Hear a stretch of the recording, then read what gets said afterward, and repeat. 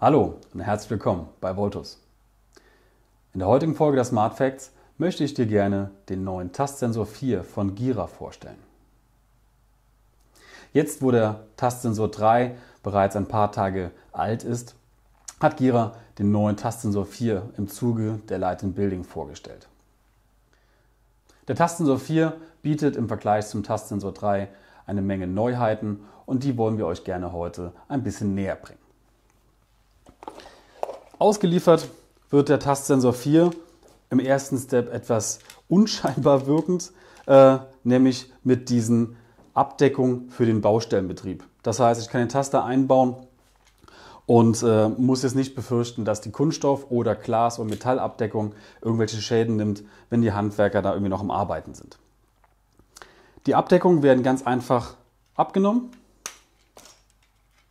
In dem Fall haben wir den Vierfach-Tastsensor. Dann sieht der ganze Sensor so aus. Und dann gibt es die Möglichkeit, den Tastsensor nach Kundenwunsch aufzurüsten mit verschiedenen Designvarianten. Wir haben jetzt hier beispielsweise die Variante im schwarzen Glas.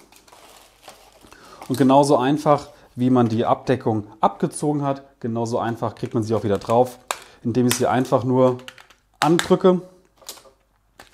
Sie rasten hörbar ein.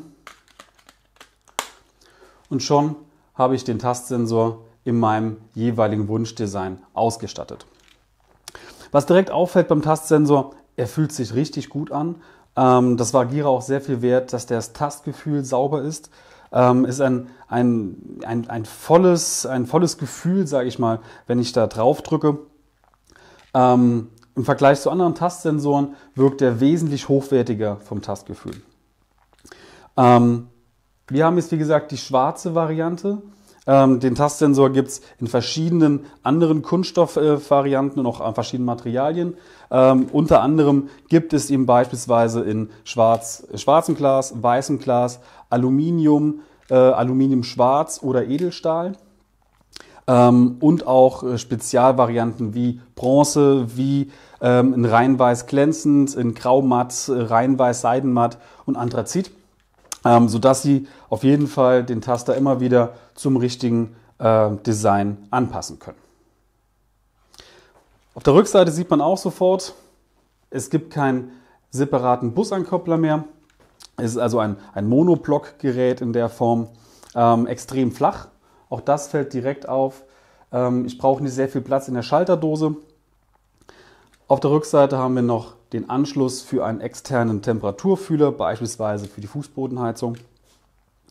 Und ja, an sich tolles Gerät, ähm, hat wirklich Spaß gemacht, ihn in der Hand zu haben und auch damit zu programmieren, damit umzugehen. Und jetzt schauen wir uns einmal, wie gewohnt, die Applikation ein bisschen näher an.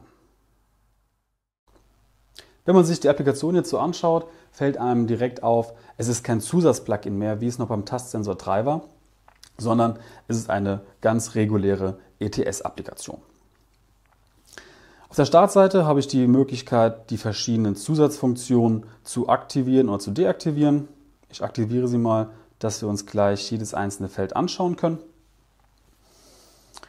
Ähm, es besteht die Möglichkeit, dass ich die Farbauswahl der Status-LED entweder zentral vorgebe, das heißt, äh, alle Tasten hätten dann die gleiche Farbe als Status-LED, oder ich wähle hier aus, dass ich pro Wippe bzw. pro Taste die Farbe selbst auswählen kann.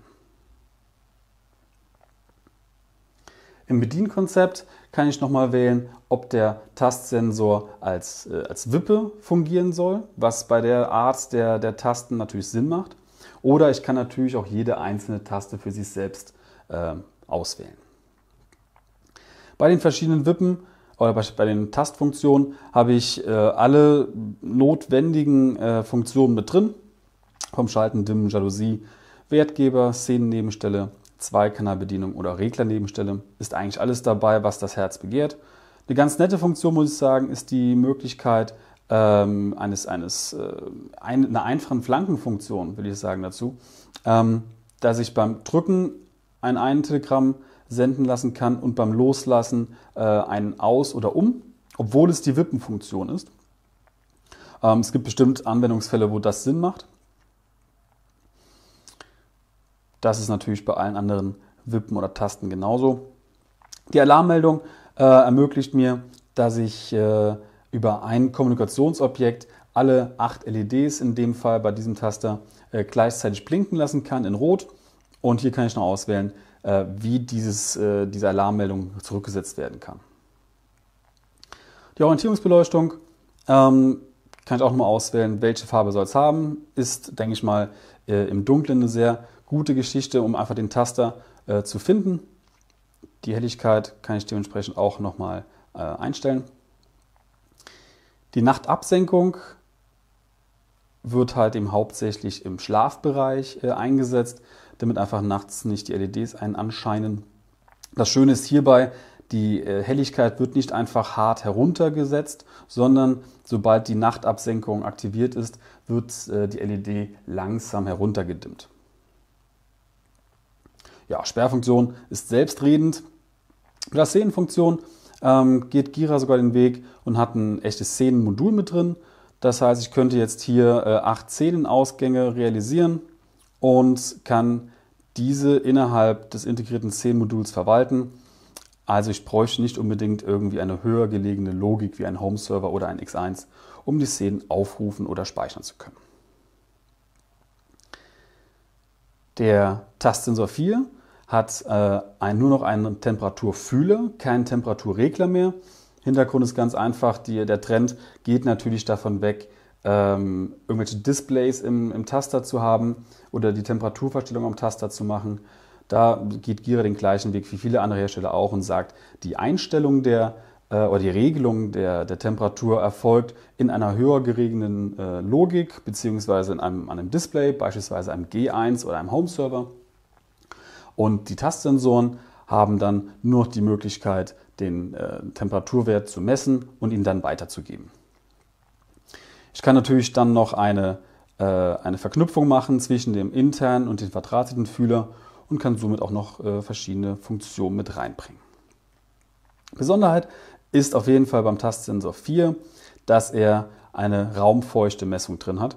Ähm, da gehört Gira jetzt mit zu den wenigen Herstellern, die es jetzt schon mit drin haben, standardmäßig. Ähm, ich denke, das ist schon eine sehr, sehr gute Funktion, weil es immer wieder häufiger vorkommt, vor allem in ganz dicht gedämmten Häusern, dass, es, äh, dass die Luftfeuchtigkeit doch relativ hoch ist und so, dass man es auch mal messen muss in Bezug auf die aktive Wohnraumbelüftung. Der neue Tastsensor 4 von Gira hat mir extrem gut gefallen, muss ich sagen. Ähm, Gira geht ganz konsequent den Weg weg von äh, überfrachteten Glas-Tastsensoren bzw. Display-Tastsensoren äh, und schafft es, den Tastsensor 4 als äh, gute Bedienstelle auf Schalterhöhe zu produzieren. In Kombination mit dem G1 ist das natürlich eine tolle Variante. Das Tastgefühl ist echt super. Probiert es auf jeden Fall aus. Äh, es macht echt Spaß. Auch der Wermutstropfen, dass man die Tasten nicht einfach beschriften kann, ist, äh, ist verträglich. Da wird Gira noch in der Zukunft die Möglichkeit anbieten, diese Beschriftung über den Beschriftungsservice zu machen. Wenn du Fragen hast zum neuen Tastsensor 4 von Gira, wenn du Fragen zu den weiteren Produkten hast, komm gerne auf uns zu, schreib uns oder ruf uns einfach an.